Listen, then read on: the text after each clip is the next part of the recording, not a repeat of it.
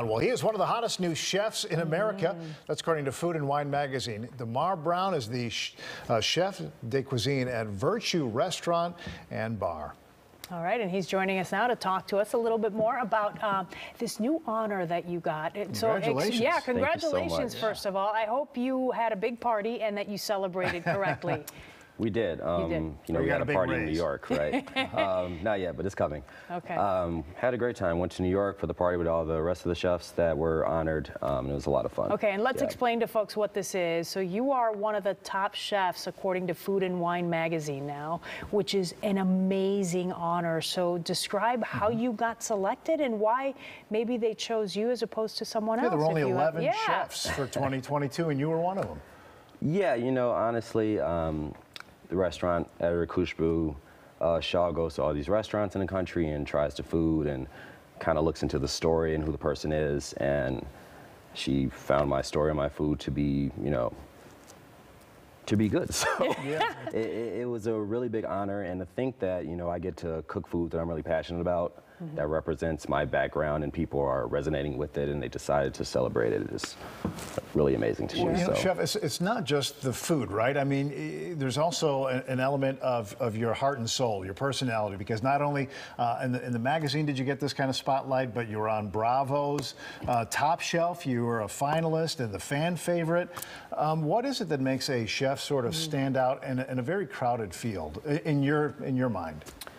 Uh, I think just being consistent and doing the work. Uh, for me, I, I'm just being myself, right? Which I guess resonated with people on Top Chef. Um, but I think just showing up and doing the work is what I've been doing, and it's worked out pretty well for me. And one of the things, as I was reading through your bio, you really try to push the idea of diversity and inclusivity in your kitchen and just to try to get um, anybody, any customers or patrons who are coming in to try different foods, to be adventurous, right? Yes, yes. Uh, I think that, you know, growing up, I didn't see a lot of me in kitchens. Um, I was fortunate enough to work with Erick Williams, uh, my chef and mentor, um, at a really young age. So I think it's hard to see yourself doing something when you don't see anybody that looks like you doing it. So we try to create more examples of uh, people of color in Good this way industry. to do it, yeah. How did it start for you? I know that your mother was, uh, she was a good cook, right? And that sort of, she, she nurtured that in you. She saw something in you and, and you sort of took it upon yourself and, and made it your, your life's work. Yeah, my mother and all the women in my family are great cooks. Um, so they figured out that I was interested in it. They leaned into it and really encouraged me, and it's, it's really paid off. So it started with them. All right, so as, as I'm here with one of the top chefs in the country now, one of 11, I got to ask you, what's sort of your favorite thing that you like to make Or eat. or eat? Whatever. Uh, you know, I like things that take a long time to cook, right? Okay. Braises, stews, soups, anything that kind of smells up the house.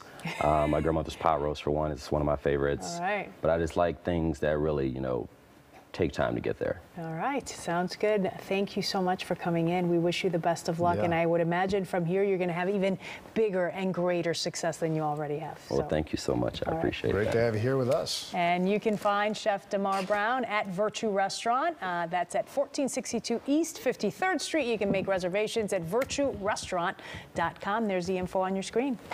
Thought we- maybe we could get some lessons next time you come by. Make, Yeah. make me a better chef. Will do. All right. Thank you so much.